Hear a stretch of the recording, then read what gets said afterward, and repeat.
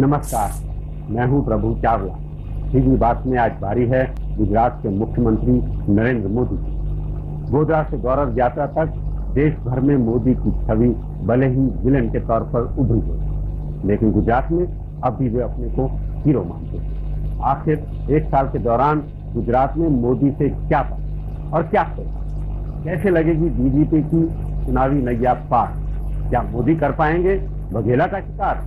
इन्हीं सभी मुद्दों पर आइए आज करते हैं नरेंद्र मोदी से सीधी बात। मुख्यमंत्री जी आपका स्वागत है। आपके दुश्मन आजकल आपको उन्नों का जिना बोलते हैं। ये सच है क्या? मैं आपको मेरा दुश्मन नहीं मानता हूँ। पहली मैंने बार बोला आपके दुश्मनों को बोला। मैं कहता हूँ आपको मैं अपना दुश्मन नहीं मानता हूँ। मैंने पहली बार आपके मुँह से सुना है। और मैं नहीं मानता हूँ हिंदुस्तान को प्रेम करने वाला कोई व्यक्ति। सच ये कि मुख्यमंत्री कटे हुए होते हैं ना।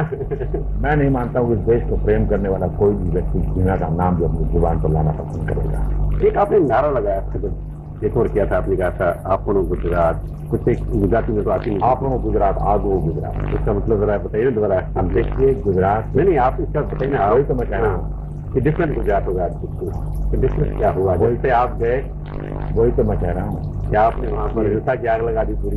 ये अलग हो गया। पहले गुजरात- शांति देश था अब हिंसा का देश हो गया वो। गुजरात के अंदर साबरमती नदी में पहले बालू के टीके हुआ करते थे। इन दिनों साबरमती नदी के अंदर नर्मदा का पानी बह रहा है। यही है गुजरात आगू गुजरात। पूरे पानी का कलर लाल है या सफ़ेद है? पानी का पूरे देश में चर्चा हुआ करती थी वाटर ग्रिड होना चाहिए। पचास साल से लोग भाषण कहते करते रहते हैं कि नदियों का एकीकरण होना चाहिए। गुजरात इस देश में पहला राज्य है जिसने साबरमती और नर्मदा नदी को मिला दिया और साबरमती नदी में मतलब आपने। आपने क्या किया? वो तो कई सालों से चल रहा था प्रोजेक्ट पर उस लोग आपके विरोधी ये कहते हैं उस पानी का रंग लाल है। खून से लगा क्योंकि पानी आने में एक दिन तो आने एक साल में आ नहीं सकता। पच्चीस साल से चल काम चल रहा था तो आपके कार्यकाल में आ गया ठीक है। परंतु जो उसके पीछे शायद आपको वालों भी आपको जानकारी नहीं होगी पूरे नर्मदा की योजना में किसी जगह पर साबरमती नदी में नर्मदा पानी डालने का कोई प्रावधान नहीं है।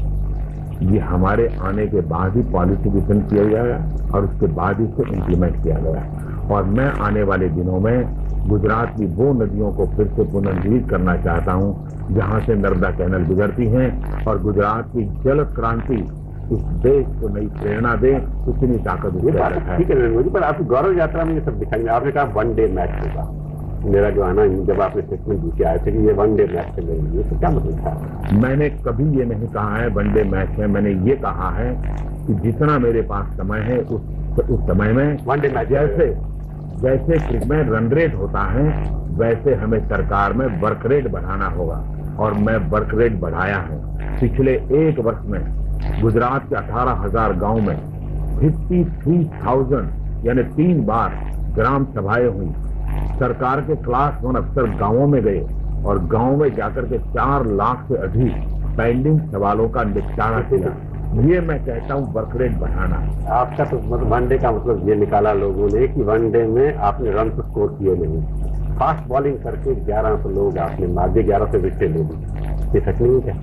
अब आपके अफसर सिर्फ़ वहाँ पर लॉ एंड ऑर्डर कंट्रोल करने गए। इंटरव्यू में आपने मुझे 900 कहा था और इस इंटरव्यू में आते ग्यारह तो हो गए। गए। आप आप महाराष्ट्र के भी हमारे यहाँ सौ बंगाल के भी हमारे यहाँ कितने आपके हिसाब से कितने हुए? गुजरात आपके में हिसाब से कितने गुजरात में कम्युनल वायलेंस के पीछे कौन लोग हैं? गोधरा की घटना न हुई होती तो गुजरात नहीं होता।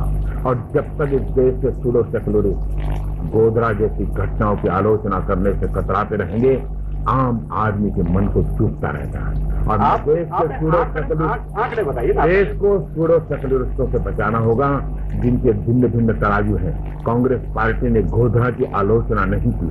कांग्रेस पार्टी गोधरा की कहना है। जब तक जब तक आप न्याय के तराजू को लेकर के बैठते नहीं हैं समाज को आप न्याय के रास्ते पर चलने की प्रेरणा नहीं दे सकते। एक तरफ़ तो आप समाज के एक वर्ग की आलोचना करते रहते हैं और दूसरी तरफ़ आप दूसरी समाज से सं- शांति और भाईचारे की अपील करते जी, गौरव हैं। यात्रा समझता हूँ गौरव ये तरीके ठीक नहीं है। गौरव यात्रा की नहीं कर मैं आपसे पूछा अभी तो आंकड़े आपने बताया मैंने ग्यारह सौ आपने नौ सौ एक एक व्यक्ति का आंकड़े बता दिए कि आपने कितनी ली hundred. व्यक्तियों की?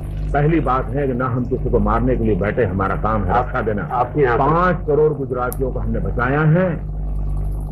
गोदरा की घटना के बाद 98 परसेंट गुजरात जहाँ एक कंकर तक नहीं गिरा है इस सत्य को आप जुटलाने की कोशिश करोगे हिंदुस्तान के गले नहीं और भारत यात्रा गुजरात के गले में नहीं उतार पाओगे। सीधी बात का और गुजरात के भाई, आप- बदनाम कर करके आप लोग कुछ नहीं पा नरेंद्र भाई आपको इसलिए रिकायत लोग कहते हैं कि आप सारे देश विलेन हैं अपने यहाँ हीरो की कोशिश कर- आपने अभी तक कहा कि जो गोधरा में हुआ उसका मतलब ये कि अगर एक खून हो तो आप खून का बदला खून से लेंगे क्या? न मैंने कभी ये कहा है। मैं ये कहता हूँ। इस बात को? मैं ये कहता हूँ कि गोधरा न हुआ होता तो गुजरात की हालत न हुई होती। और इसको गुजरात के बाद आप बचाने में असफल रहे ये मान रहे हैं आप। अगर हम बचाने में असफल रहे होते तो 98 परसेंट गुजरात शांत न होता। अगर हम बचाने में असफल हुए होते तो 72 ओवर के अंदर कंट्रोल न हुआ होता। अगर हम बचाने में असफल हुए होते तो सात हज़ार हज यात्री गोधरा के बाद गुजरात के अंदर सम्मान के जी, गुजरात आप- का का- अगर हम असफल हुए होते तो गोधरा के बाद गुजरात में हज़ारों ताजिया के जुलूस न निकले होते। अगर हम न होते तो गुजरात के अंदर होली का त्योहार न होता। अगर हम न होते गुजरात में गणेशोत्सव तो आप तो वही आपने प्रूव कर लिया कि आप जिना की भाषा बोल रहे हैं हिंदुओं से। आपने प्रूव कर दिया कि अगर हज़ार से ऊपर मोड़ लग मर जाए तो टुकड़े करवाने वाले जिन्ना का नाम जिसकी जुबा पे आता है वो पाप कर रहे हैं पाप कर रहे हैं। आपकी भाषा क्या अभी तक आपने मुसलमानों के समर्थन में एक भी नहीं बोला। मैं समझता हूँ मैं पाँच करोड़ गुजरातियों के समर्थन की करता हूँ और पाँच करोड़ गुजरातियों में सब जातियाँ आ जाती हैं। मैं उन लोगों का विरोधी हूँ जो इस देश को माइनॉरिटी मेजोरिटी में बांटते हैं। देश को माइनॉरिटी मेजोरिटी में बांट करके इस देश को तबाह किया है। मैं पाँच करोड़ ये की आपने हूँ। इस्तेफा किया पाँच करोड़ की बात करें पचानवे करोड़ की मैं पाँच मैं गुजरात बार पाँच करोड़ मैं। गुजरात का दायित्व हिंदुस्तानी है मैं पाँच करोड़ गुजरातियों का दायित्व संभालता हूँ और इसलिए मैं पाँच करोड़ गुजरातियों की बात आप बाकी पचानवे करोड़ बाहर में जाए क्या? जी नहीं मेरा दायित्व पाँच पंचानवे करोड़ का नहीं है। आज तक वालों का है वो पंचावन नाइन्टी फाइव अपने आप को भारतीय नहीं मानते आप क्या? मैं इस देश का अपने आप को सपूत मानता हूँ बेटा मानता हूँ। मैं भारत को प्यार करने वाला व्यक्ति हूँ लेकिन फ़िलहाल मेरा दायित्व पाँच इसका करोड़ मतलब ये है कि आप अपने पाँच करोड़ लोगों के लिए पचानवे करोड़ की नींद खराब कर देंगे। जी नहीं मैं पंचावन करोड़ की नींद से आराम से सो सके इसलिए पाँच करोड़ गुजरातियों के माध्यम से एक गौरव यात्रा का अभियान चला रहा हूँ। गौरव यात्रा में सिर्फ़ आप एक कम्युनिटी की बात करते हैं बाकी अभी तक मैंने हमेशा मियाँ मुशर्रफ का नाम लेते हैं अभी मतलब है? मैं नहीं जानता हूँ इस देश का क्या कारण है लोगों को मियाँ मुशर्रफ के प्रति प्रेम है। इस देश के अंदर गोलियाँ चलाने वाले निर्दोष लोगों को भून देने वाले लोग जिसने अक्षरधाम के अंदर 45 दिन की बच्ची पर गोली चलाई। जो देश का दुश्मन नंबर एक है उस मुशरफ की मैं तारीफ़ करूँ और मैं कांग्रेस के लोगों को कहता हूँ। साबित किया कि पाकिस्तानी है उसके अंदर? साफ़ साफ़ बात है वो पाकिस्तान के दो नागरिक है। और मैं कांग्रेस के लोगों का आह्वान करता हूँ। मैं कांग्रेस के लोगों का आह्वान करता हूँ उनको अगर कहना है तो कह दें कि आतंकवादी पाकिस्तान कांग्रेस कहाँ से आ गई? कांग्रेस पार्टी आरोप लगा रही है। कांग्रेस पार्टी आरोप लगा रही है। आप कांग्रेस चावला सीधी बात तो बताएँ कि पाकिस्तानी होने का ये हमारे पास सबूत है। जी हाँ, सरकार के पास। ऊपर डाल देने कुछ नहीं। सरकार के पास हर प्रकार के सबूत है। जिस प्रकार के तो साधनों बताइए ना।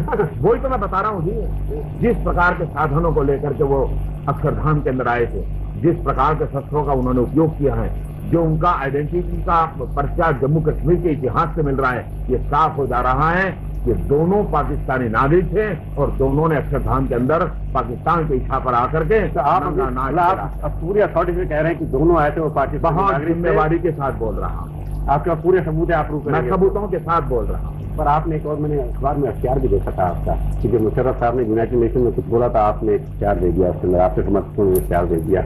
मियाँ मुशर्रफ और मोदी चुनाव आपका।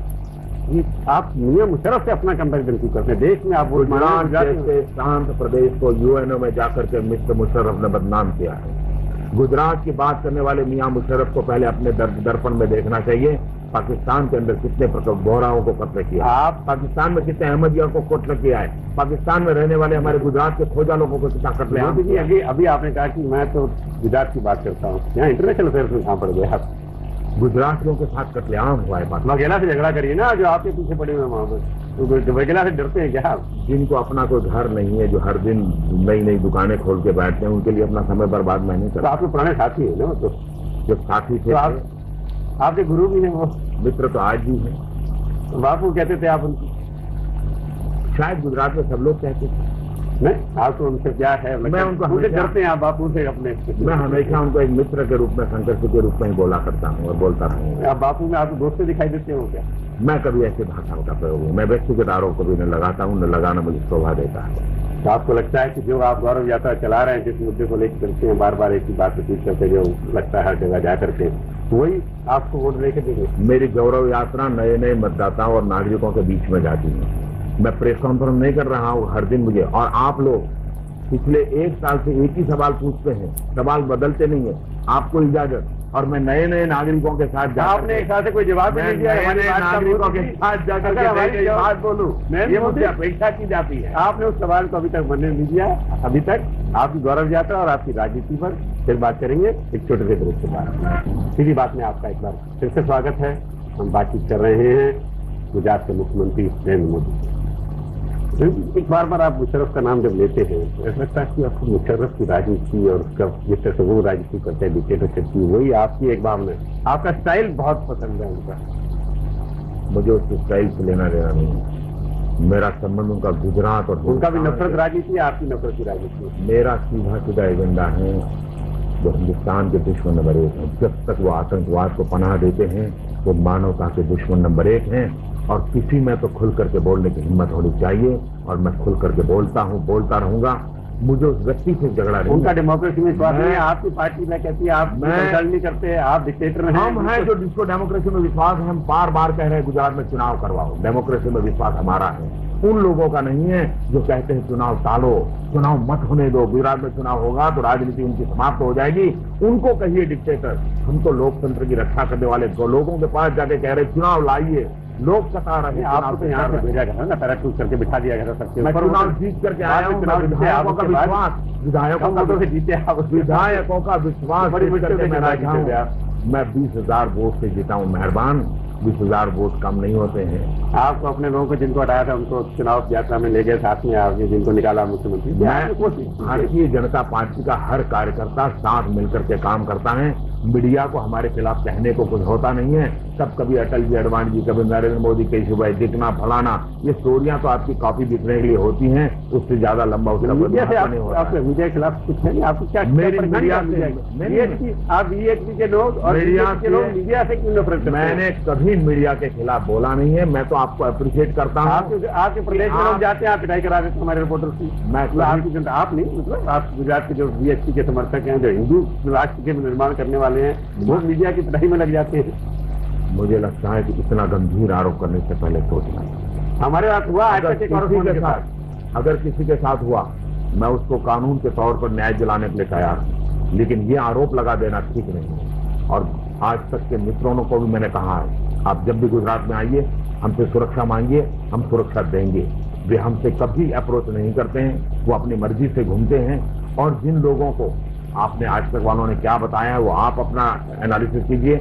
गुजरात के अंदर आपका जो प्रतिनिधि बैठा है, वो जो खबरें देता है उसको एक बार चेक कर लीजिए। अगर वो खबरें सही हैं तो गुजरात का आम आदमी मोदी जी मैं आपको आश्वासन देता हूँ हर खबर चेक करके बताई जाती है। आपको अगर पसंद नहीं आए तो उसमें मेरा कोई कसूर नहीं है। मेरी पसंद नापसंद से लेना देना नहीं। मैं तो आज तक का आभारी हूँ। अगर आज तक न होता तो हमें इतनी पब्लिसिटी कौन देता भाई?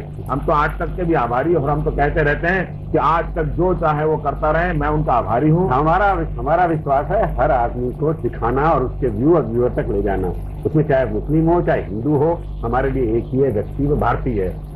हम आपकी तरह तय नहीं करते हम भी यही कहते हैं। हम भी यही कहते हैं भारतीय के नाते सोचना चाहिए गुजराती के नाते सोचना चाहिए अलग अलग तराजू नहीं होना चाहिए। हम इसी को कहना चाहते हैं। लेकिन लेकिन अगर समाज को आग लगाने वाली बातें हम फैलाते रहेंगे तो समाज का बहुत बड़ा नुकसान होगा। आप अटल जी को भी आज तक में एक प्रकार से दिखाएँ और मुशरफ को भी उसी प्रकार से दिखाएँगे तो हिंदुस्तान की जनता के मन को दुख होगा। इस बात को आपको समझना होगा।